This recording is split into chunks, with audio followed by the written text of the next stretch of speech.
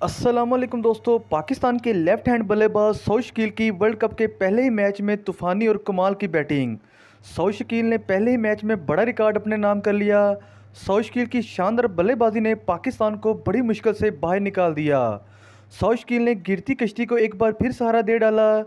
तीन खिलाड़ी जल्द आउट होने के बाद सौ शकील ने ना सिर्फ़ सहारा दिया बल्कि अपने वर्ल्ड कप के पहले मैच में तेज तरीन फिफ्टी भी बना डाली। वो दुनिया क्रिकेट के पहले खिलाड़ी बन गए हैं जिसने अपने डेब्यू वर्ल्ड कप मैच में तेज तरीन फिफ्टी बनाई है।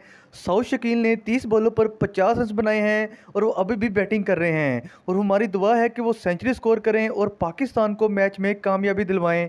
आखिर में आमीन ज़रूर कीजिएगा और अगर आप लोग सौ शकील के फ़ैन हैं तो चैनल को भी लाजमी सब्सक्राइब कीजिएगा।